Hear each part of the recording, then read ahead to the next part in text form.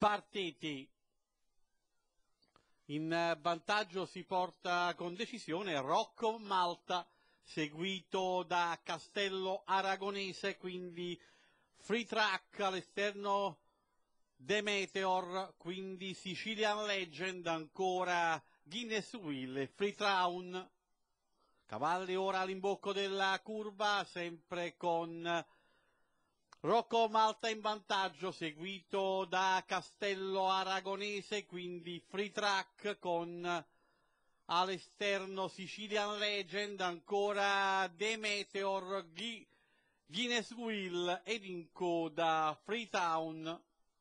Cavalli all'ingresso in retta di arrivo con Rocco Malta sempre in vantaggio, Castello Aragonese al suo attacco, poi in cerca del barco free track